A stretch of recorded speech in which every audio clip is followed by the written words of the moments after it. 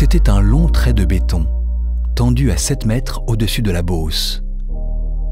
Tout entortillé d'arbres et de pylônes, il déroule ses arches au-dessus des champs avant de disparaître sous les futaies.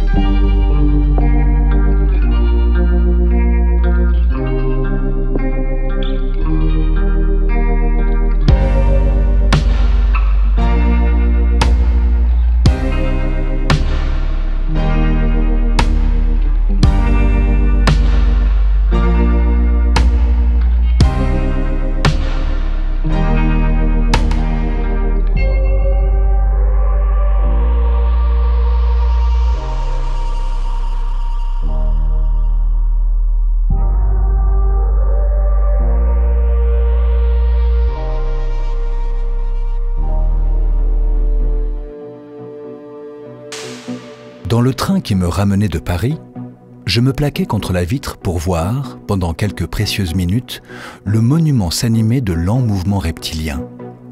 Ces arches se succédant sous l'effet de la vitesse à un rythme toujours plus rapide, comme si l'immense squelette dépliait ses vertèbres et levait la tête avant de partir en chasse.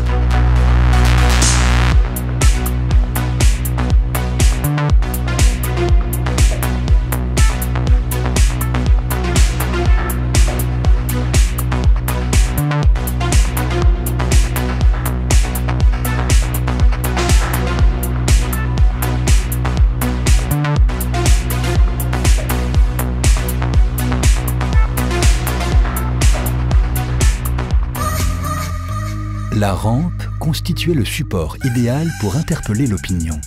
Et les différents groupuscules qui s'activaient dans la région ne furent pas longs à le comprendre.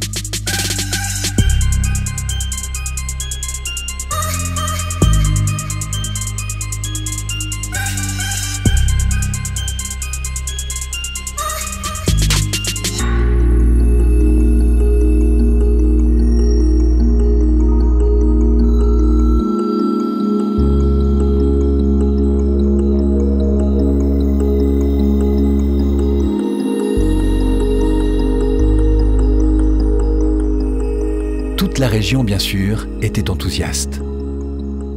Des jeunes ressuscitaient le rêve de Jean Bertin. À 50 ans d'écart, le progrès revenait en Beauce. C'était inespéré.